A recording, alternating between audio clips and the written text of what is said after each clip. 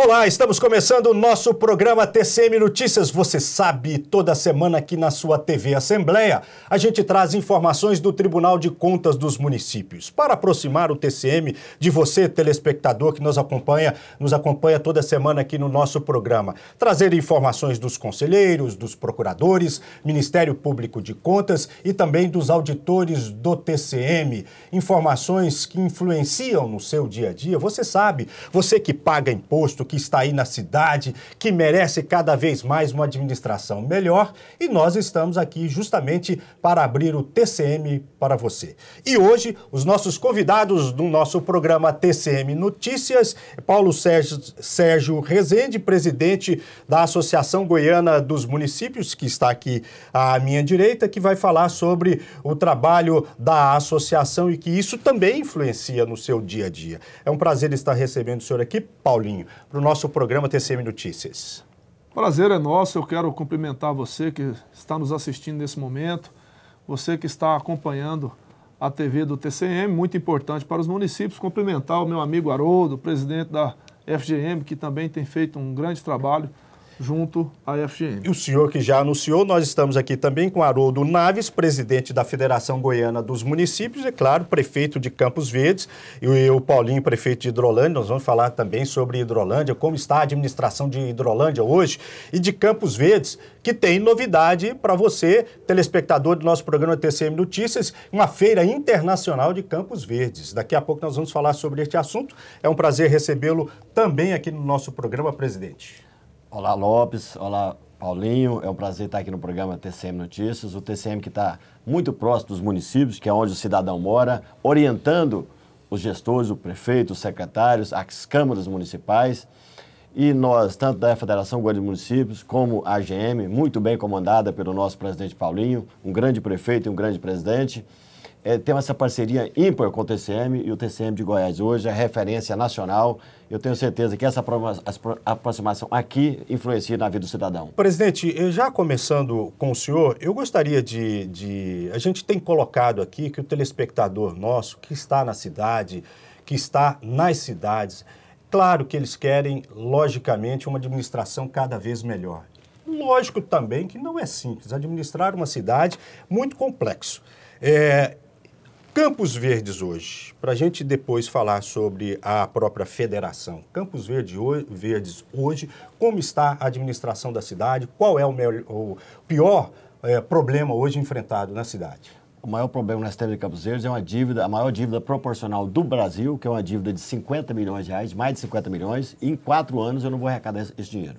Então, a prefeitura hoje, eu faço gestão, gestão de fato. A prefeitura recebe em torno de um milhão de reais. Desses 250 mil fica retido para pagar contas. Então, nós estamos hoje implementando um novo formato de gestão. Cortei secretarias, cortei de 10 para 3, cortei 70% dos cargos comissionados. Por exemplo, Verde nunca pagou IPTU. É a primeira vez que paga, lógico que há uma chadeira, mas eu tenho que cumprir a lei. Inclusive o Código Tributário que foi votado na gestão anterior. Então, hoje o gestor, não só de Campos Verdes, mas todos os municípios do Brasil, e o Paulinho dá muito exemplo para isso, e orientação aos nossos prefeitos, que a gente tem que fazer gestão e tocar a gestão de, daquilo que ainda dá conta de pagar. Hoje eu pago, pago a folha de pagamento é, no dia 22, adiantado, os fornecedores, todas as pessoas querem vender para a prefeitura. Então, eu acho que esse é o formato. Campos Verdes é uma cidade nova, com já, né, é relativamente recente a emancipação. É, é, mas é, com dívida de 50 milhões, é uma, a... É, quer dizer, os gestores anteriores, de certa forma, o que, o que compõe essa dívida da cidade? Foi, isso é uma dupla irresponsabilidade. Pereira a, não pagava as dívidas do Fundo de Previdência, da, da Previdência eh, Geral, da, da Saúde, do INSS e por aí vai. Bom, CEL, Saneago, e às vezes confessava a dívida que a prefeitura não devia. Quando tinha intenção de pegar só uma certidão, confessava a dívida, pagava uma, uma parcela e largava para lá. Hoje nós estamos fazendo auditoria todas essas contas, já estamos tentando reduzir essa dívida, alongar o perfil da dívida para a prefeitura ter um mínimo de, de, viabilidade. Hoje a prefeitura de Campos Verdes, para você entrar num patamar de dívida normal, demora 12 anos. E alguém, tem que começar a fazer isso. E nós estamos fazendo isso em Campos Verdes. É E, a, e a população começa a entender. E daqui a pouco eu quero falar um pouquinho da nossa Feira das Esmeraldas. É, nós vamos falar isso ainda no nosso programa TCM Notícias, que você está nos acompanhando. É um prazer sempre estar aqui com você, trazendo informações do Tribunal de Contas dos municípios e também das administrações, das prefeituras, abrindo espaço para que os prefeitos, os vereadores possam falar com você. E é claro, nossos canais também estarão aí no final do nosso programa para que você possa ligar, entrar em contato, dar sugestão para o Tribunal de Contas dos municípios. Presidente, é, o senhor administra a Hidrolândia, perto aqui de Goiânia, 33 quilômetros da capital. É mais simples, é mais fácil ou é complicado também como uma cidade mais distante, mais de 300 quilômetros de Goiânia, Campos Verdes, por exemplo? Ou é a Não. mesma situação? É, a dificuldade é a mesma, os anseios são os mesmos? Sem dúvida, os anseios são os mesmos, Lopes. É, os, os moradores querem os benefícios, aí, independente do local que esteja, só muda o nome das cidades. Mas o Haroldo fez uma colocação muito pertinente aqui.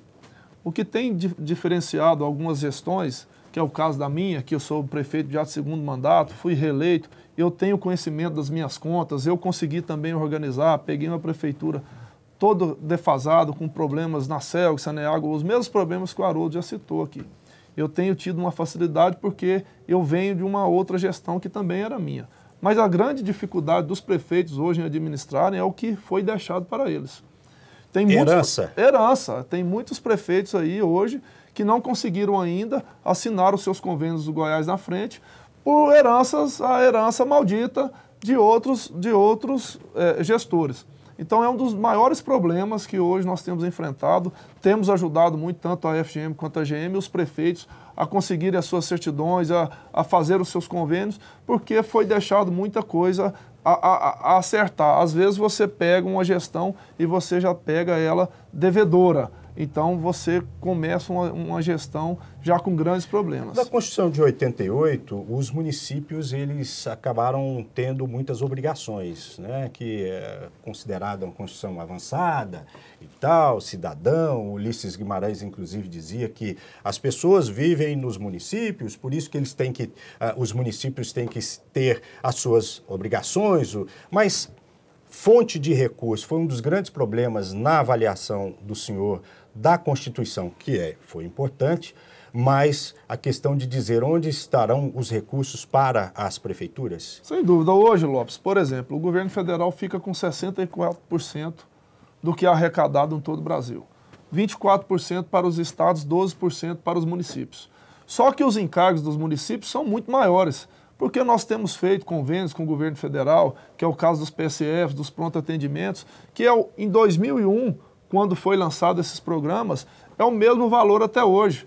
Então, os municípios, isso falando também da merenda escolar, do transporte escolar, os municípios não suportam mais as demandas impostas pelo governo federal e nós que temos que fazer as obrigações, até porque nós somos a ponta de tudo, como já dizia Ulisses Guimarães. É, e ninguém vai bater normalmente a porta do presidente da República para pedir, né? Vai no, na- lá do prefeito que está, como você, o senhor disse, no dia a dia da situação. Está na rua, está vendo? na a rua cobrança, ela momento. é a todo momento, né?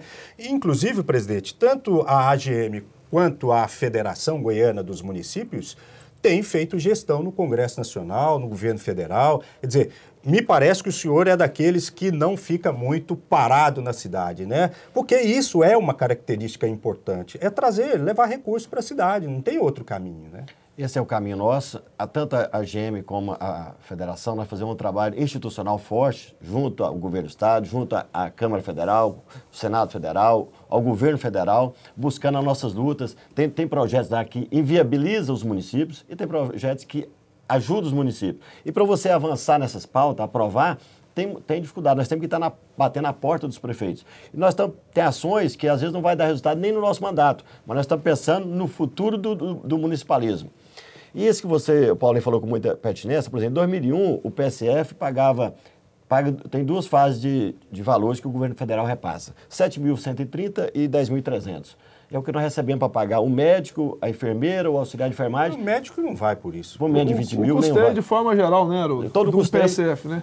É, exatamente. O- tá- está defasado. Então, hoje a- a- nós temos um sistema de governo nacional, as três instâncias passando por dificuldade. Mas o problema acontece na ponta, porque vai cobrar do prefeito de fato. Então hoje a gente arca com uma série de responsabilidades que não são nossas, nós assumimos responsabilidade com policiamento, com funcionário para o judiciário, para o governo federal, o custo para nós é muito alto.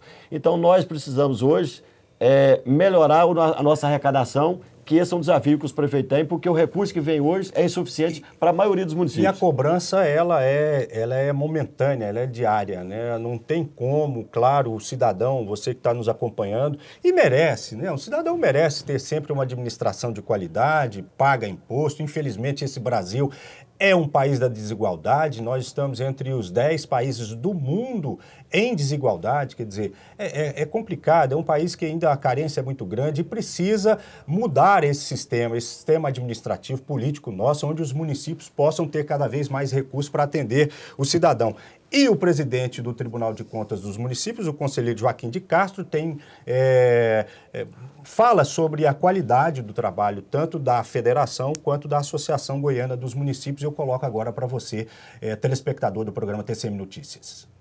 O Tribunal de Contas dos Municípios realizou entre os dias 27 de abril e 6 de junho encontros regionais em todo o estado para qualificar os gestores públicos. Considerados um sucesso, os seminários reuniram mais de 2 mil prefeitos, vereadores, servidores e população em geral. Foram ministradas palestras sobre planejamento estratégico, lei orçamentária, contratação de pessoal, licitações e limpeza urbana, entre outros assuntos relacionados ao dia a dia das cidades. Estiveram presentes também o Ministério Público de Contas, a Associação Goiana dos Municípios, Federação Goiana dos Municípios e União dos Vereadores de Goiás. Os gestores públicos puderam tirar dúvidas sobre temas que interferem na qualidade dos serviços prestados pelas administrações. Os encontros regionais, realizados anualmente, são uma forma do tribunal aproximar dos gestores e da sociedade visando a melhoria na qualidade de vida da população. Foi altamente positivo né, para, não só para o Tribunal de Contas, é, mas para os gestores, prefeitos e a comunidade de um modo geral. Eu tenho certeza absoluta que, que esses encontros serviu né, para aproximar cada vez mais o Tribunal de Contas do, do, do cidadão, fazendo com que as suas ações possam ser conhecidas de todos.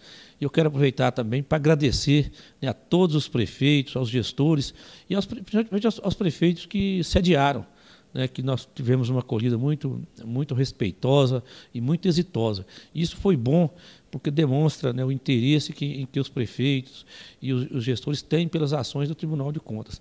É, nesta edição deste ano, né, praticamente 2 mil gestores participaram dessas atividades. E isso é, é, foi, foi um, um, uma forma do próprio tribunal capacitar cada vez mais o gestor público, fazendo com que não só ele faça a coisa legal, mas principalmente o gestor público possa atender de forma efetiva a, a comunidade. Porque todos que, que estão ocupando cargos públicos, eletivos principalmente, o que a gente tem em mente é que eles querem o bem-estar da coletividade onde, onde ele administra e governa. E o Tribunal de Contas quer, a, a, além de, de, de, tudo isso que foi dito, é que o recurso público seja bem aplicado e aplicado de forma eficaz e ao tempo, atendendo aquilo que a comunidade espera de um bom gestor. Houve uma participação efetiva da sociedade. Isso é importante para o tribunal também de estar próximo ao cidadão? Importantíssimo, né?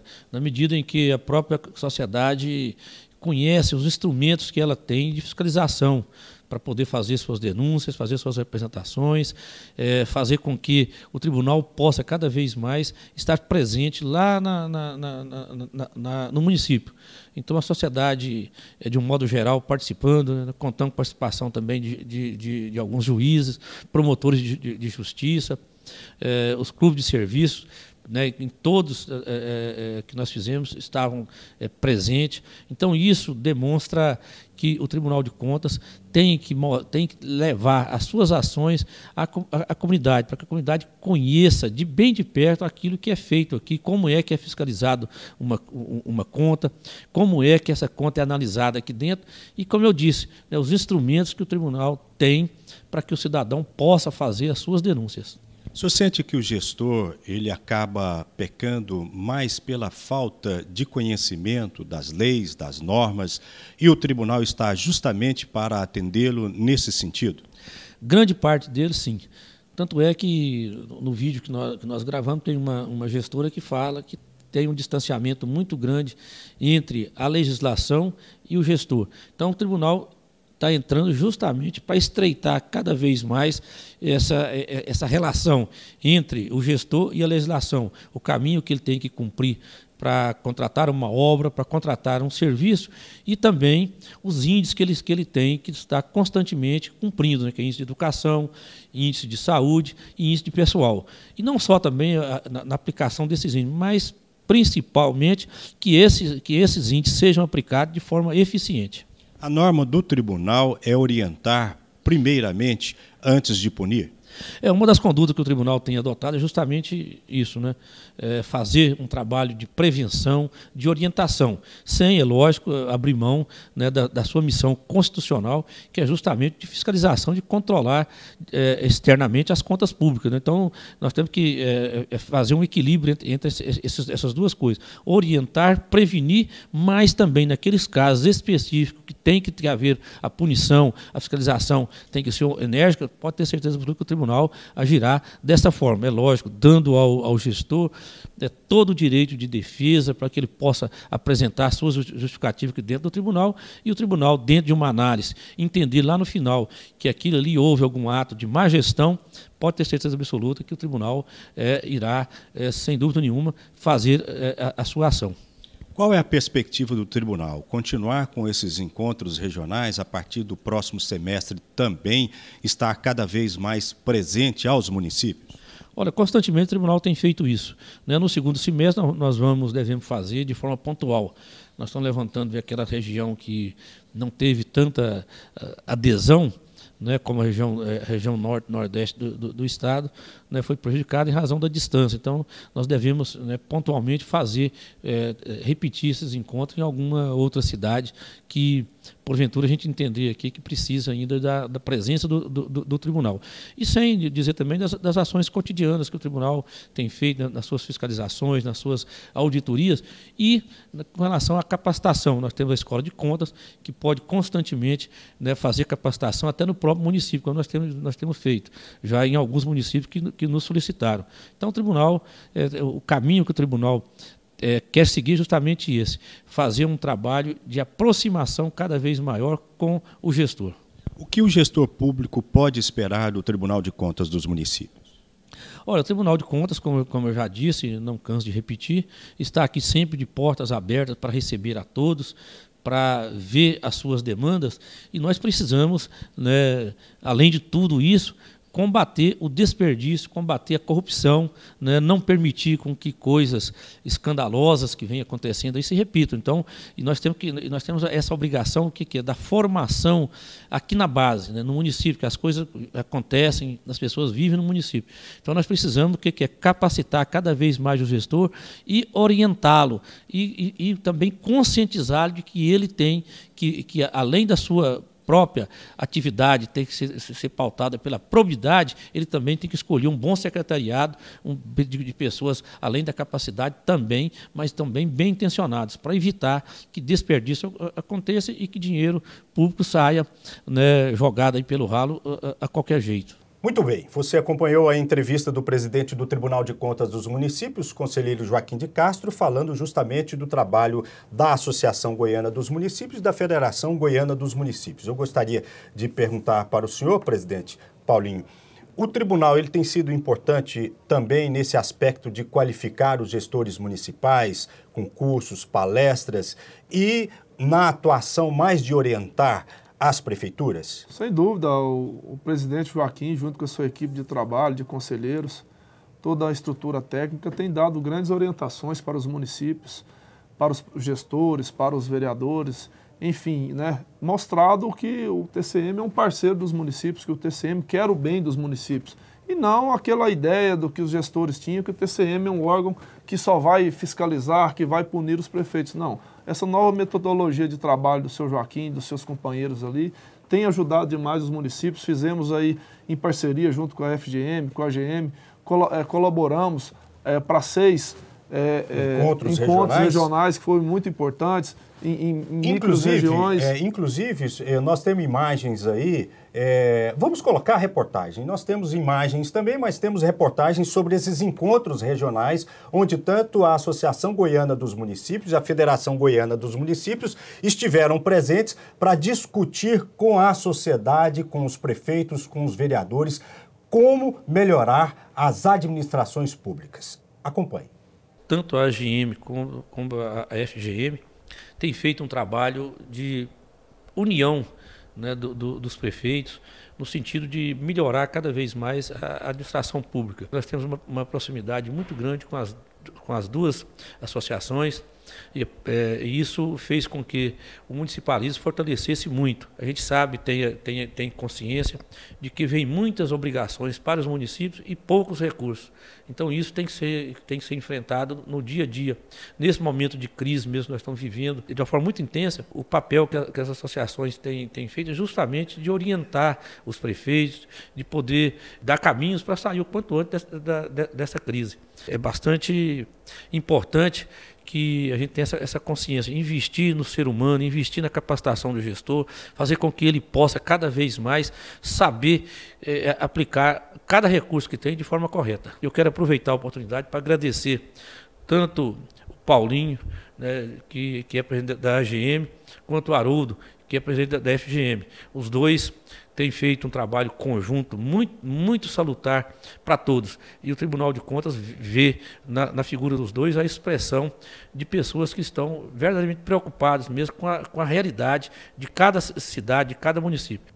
Esse assunto nós já trouxemos aqui no nosso programa TCM Notícias, mas, claro, é sempre importante mostrar que o Tribunal de Contas dos Municípios, a Associação Goiana dos Municípios e a Federação Goiana dos Municípios estão trabalhando para qualificar cada vez mais as gestões. E, é claro, melhorar a sua vida, cidadão. Não tem outra forma se não for qualificar os gestores públicos, os controladores internos, os controladores externos, aquelas pessoas que trabalham com seus recursos.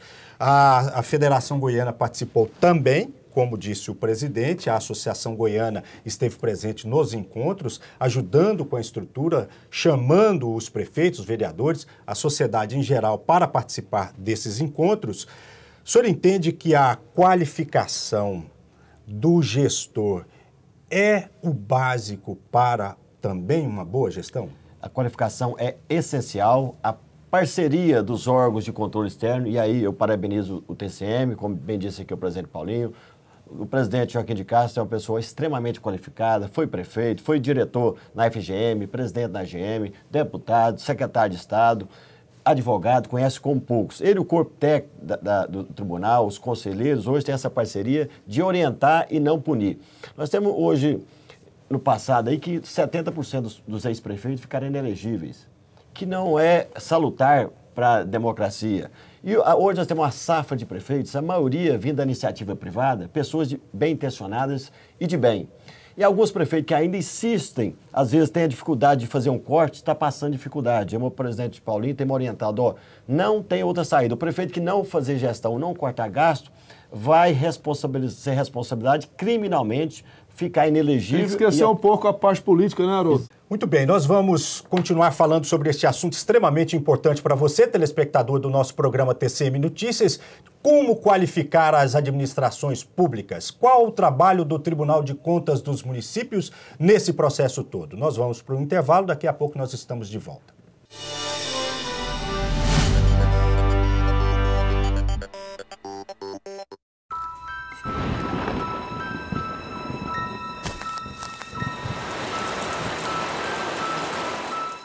O Aedes aegypti, que transmite dengue, zika e chikungunya, não se reproduz apenas em pneus.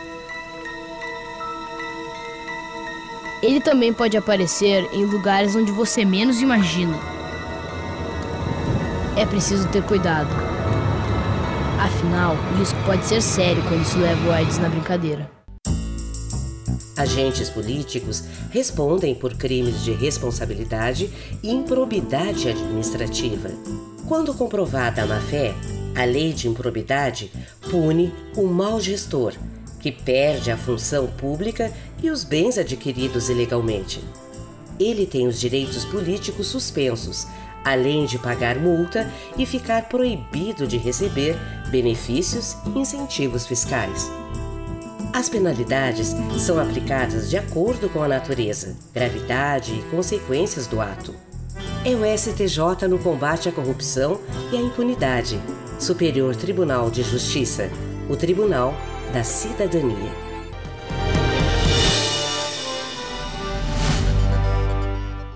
Estamos de volta com o programa TCM Notícias. Você sabe, toda semana aqui na sua TV Assembleia, a gente traz informações do Tribunal de Contas dos Municípios. Eu vou colocar agora uma fala do ex-conselheiro do Tribunal de Contas dos Municípios, Walter Rodrigues, o tribunal que está fazendo no dia 18 de novembro 40 anos. E a gente está conversando com os conselheiros, aqueles que ajudaram a formar o Tribunal de Contas dos Municípios nessas quatro décadas. Acompanhe.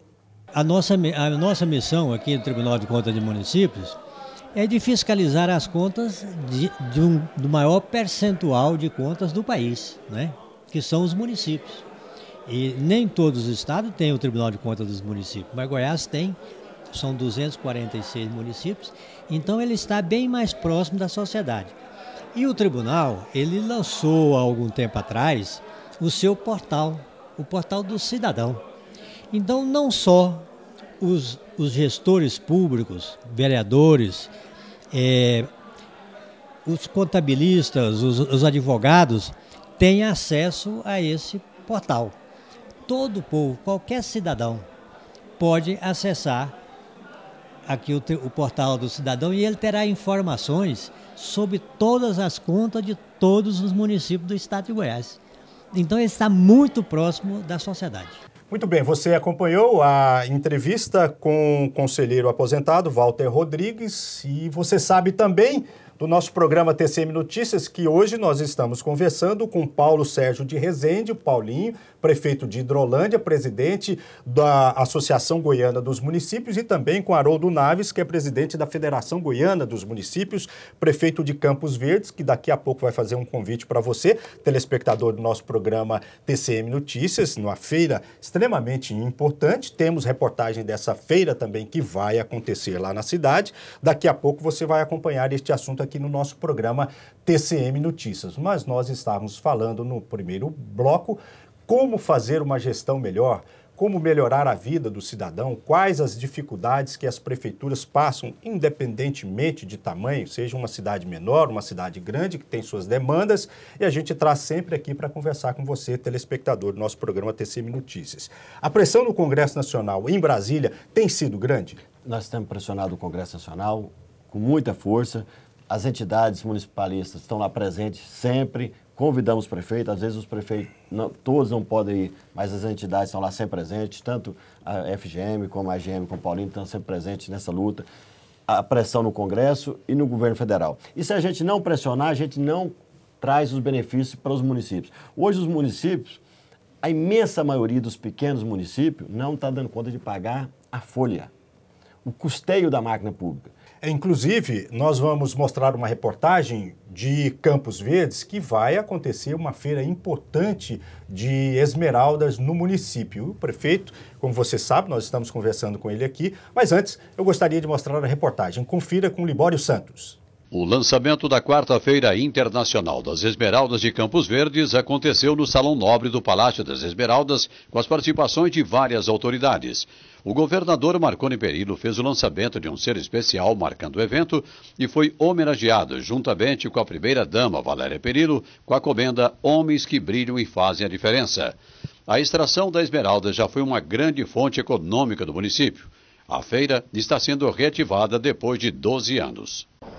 Esta quarta edição resgata para o calendário nacional e internacional a importância de Goiás e do município de Campos Verdes no comércio de pedras preciosas.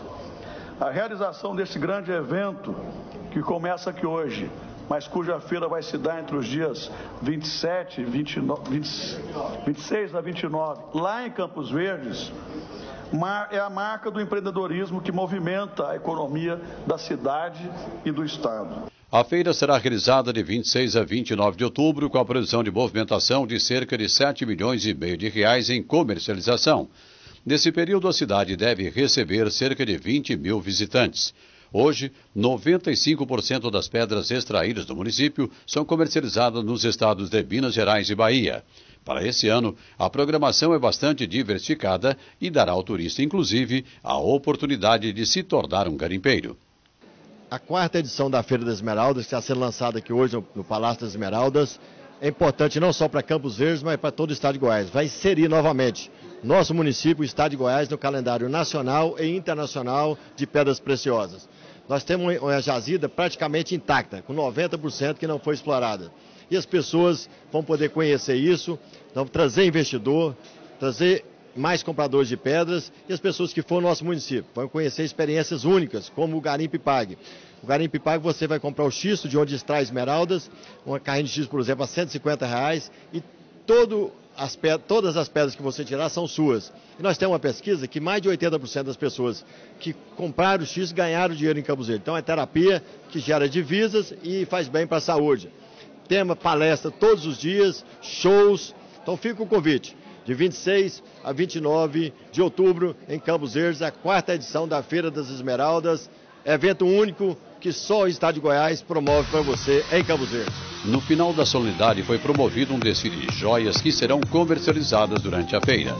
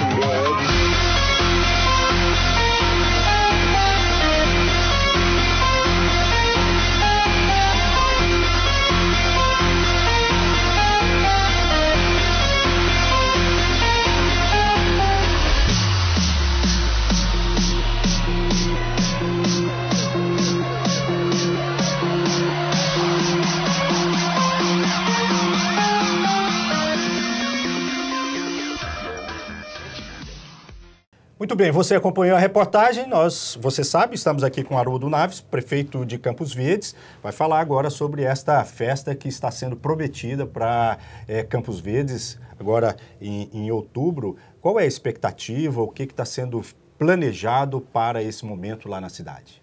É, Lopes, nós tivemos no dia, último dia 5 o lançamento da quarta edição da Feira das Esmeraldas no Palácio das Esmeraldas, com a presença do governador a primeira-dama esteve lá com a gente. E na Feira dos Esmeraldas, em Campos Verdes, de 26 a 29 de outubro, você vai participar de uma experiência única, e eu convido o presidente Paulinho a participar também, do Garimpe Pague. O Garimpe Pague, você vai comprar o xisto, que é a substância de onde extrai esmeralda, um carrinho de xisto, por exemplo, por 150 reais. E todas as esmeraldas que você tirar são suas. Nós tivemos um frentista de um posto de gasolina lá agora que comprou dois carrinhos de xisto uhum. por 300 reais. E uma única pedra que ele tirou vale 30 mil reais. Então a pessoa pode ir lá participar de um vai evento. Ter gente do Brasil. Tudo que é iniciativa boa, Harold. Você vai atrair é. muitos turistas para sua cidade. Parabéns, lugar, que coisa é, boa. É. Isso, nós temos outra, outras atividades lá. Nós temos a corrida do carrinho do bamburro. Quando, esse cara, quando ganha muito dinheiro, a gente chama lá de bamburrá. Então tem uma corrida do carrinho do bambu, que é um garimpeiro, um sentado no carrinho, outro empurrando e revezando, como se fosse uma corrida de Fórmula 1. Então, palestras sobre os temas ligados à mineração, à exportação, a Câmara de Exportação da FIEG, o DNPM vai estar lá falando sobre gemologia, a CPRM sobre geologia. Estamos levando a tecnologia lá, tecnologia Paraoblast, que é uma câmara de gás instantâneo que substitui o explosivo convencional.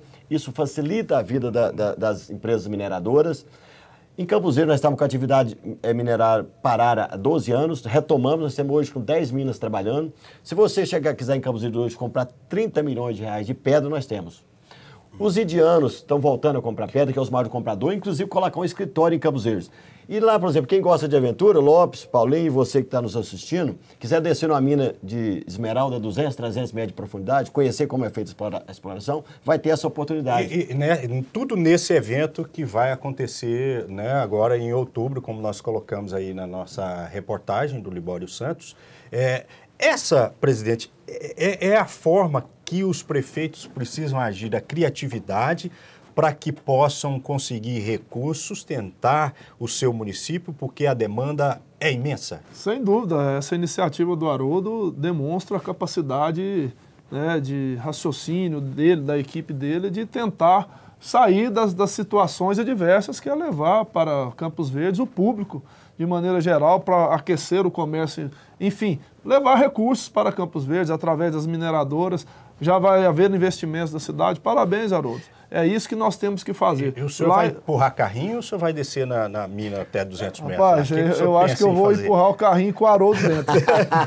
é, vai ser, e, e, acho que a criatividade é isso, é para... Lopes, olha, uma coisa importante, ontem até o governador, no dia 5, falou isso é importante, hoje as pedras de Goiás 95% são comercializados ah. na Bahia e Minas. A feira visa inserir novamente Campos Verdes e Goiás no calendário nacional e internacional de comercialização de pedras. Isso vai aumentar emprego, renda, trazer mais divisas, não só para Campos Verdes, mas para o estado de Goiás. É isso a gente e, e você, e você, criatividade, né? É isso aí, eu acho que é importante. E você, Lopes, fica convidado a ir lá muito participar bom. dessa atividade, comprar uma esmeralda legítima, porque hoje se você for numa joalheria, às vezes Muito você não tem certeza bom. se aquela pedra é joalheria. Você vai comprar uma joia por um preço 20% do preço que você compraria aqui, vai comprar, por exemplo, um anel de esmeralda para a Luciana Fiode, ela Isso. vai estar muito feliz. É, já está feito lá. E outra coisa, é, é, você acaba investindo no município, né? Você vai comprar aqui o um negócio beneficiado, aquele negócio todo, tal, tal, mas está pagando mais. Igual você está falando, são criatividades que precisam ter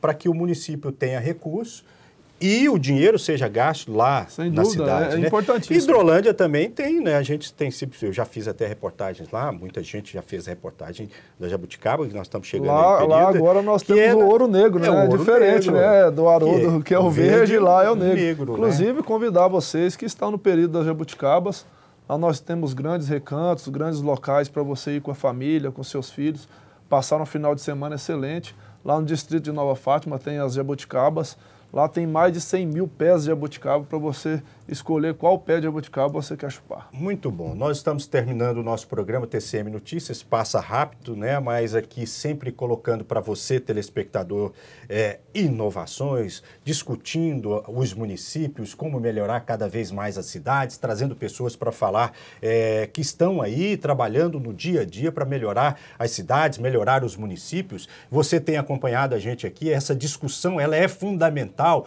como melhorar as cidades. E como você acompanhou o nosso é, bate-papo aqui com o presidente da GM, Paulo Sérgio de Rezende, o Paulinho. Presidente, muito obrigado por ter participado desse programa e sinta-se sempre aqui à disposição para trazer informações que a gente passa aqui para o nosso telespectador do programa TCM Notícias.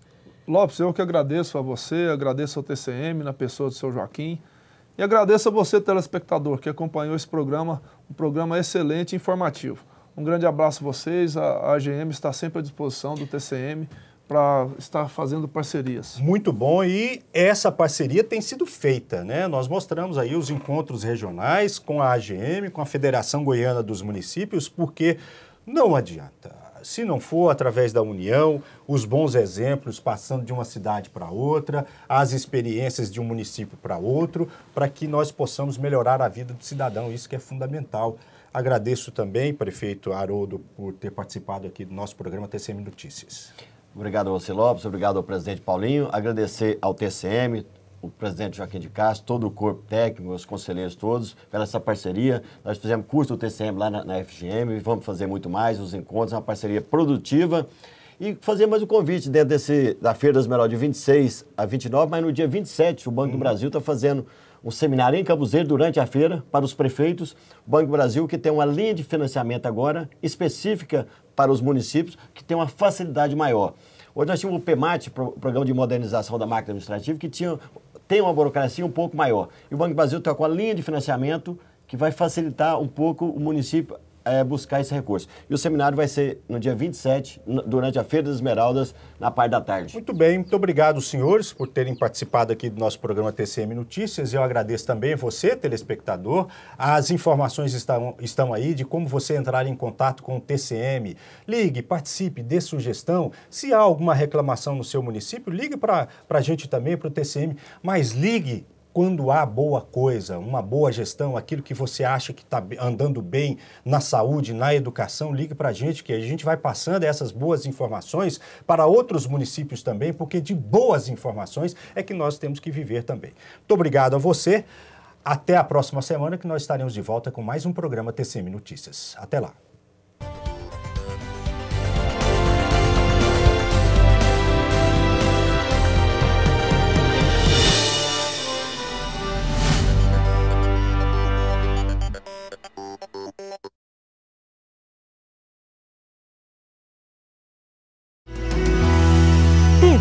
Assembleia. Informação com credibilidade.